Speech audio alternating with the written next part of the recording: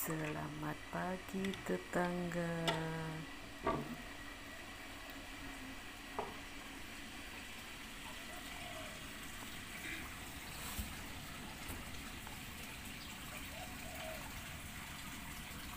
Tetanggaku masih pada belum bangun.